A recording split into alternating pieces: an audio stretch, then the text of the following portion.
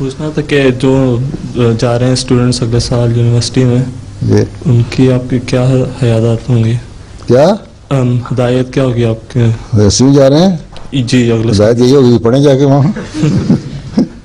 اور کیا ہدایت ہونی ہے؟ اور کس قسم کی ہدایت چاہتے ہو تم؟ نہیں کہ دینی اور کس طرح کیونکہ ماحول کافی خراب ہوتا ہے بات یہ ہے کہ جو ماحول تمہارے اسکول میں ہے جی۔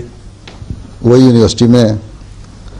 باقی یونیورسٹی میں تمہیں تھوڑی سی آزادی اس طرح ہے کہ تمہارے اپنے وقت ہیں پیریڈ مرضی سے لگ رہے ہوتے ہیں، کچھ پیریڈ خالی بھی ہوتے ہیں تو اس دنوں میں اپنے باہر اپنی یونیورسٹی یا کالج میں کینٹینیں یہاں ہوتی ہوں گی، یہاں بھی، ہیں؟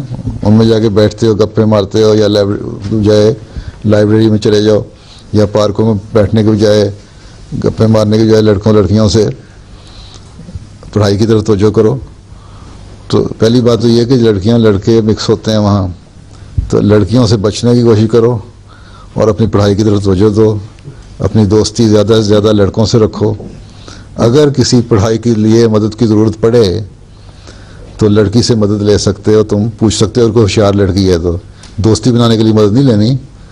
اگر سمجھتے ہو کہ اس کو زیادہ سمجھ آئی کسی بات کی تو مجھے پوچھنے میں حرج بھی نہیں سوال۔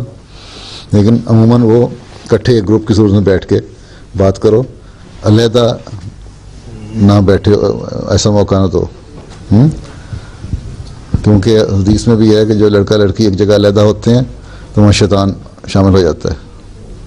اس لیے اس سے بچو۔ ٹھیک ہے؟ باقی تمہارا جو یونیورسٹی میں زائد وقت ہوتا ہے، اگر لائبریری میں گزارو تو تمہارا علم بھی بڑھے گا۔ دوسرے ہے کہ نمازوں کی طرف باقاعدگی توجہ پہلے سے زیادہ رکھو اور اللہ تعالیٰ سے یہ دعا مانگا کرو کہ ہمیں ہر قسم کے گند اور غلازت سے بچائے قرآن شریف کی تلاوت کیا کرو۔ اب یہ سلیبس بھی نیا بنا رہے ہیں۔ جو بیس اکیس سال کے بچوں تک کے لیے کافی ہوگا۔ اس کو پڑھو تاکہ تمہارا دینی علم بھی بڑھتا رہے ساتھ ساتھ۔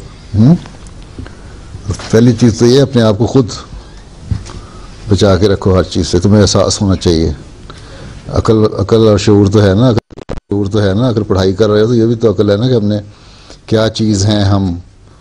ہم احمدی ہیں اور کیوں ہیں اور وقف نو ہیں، ہمارا ایک علیحدہ ایک آئیڈینٹی ہونی چاہیے، ہوں؟ تو اس کے لیے ہم نے کیا کیا کام کرنے ہیں ٹھیک ہے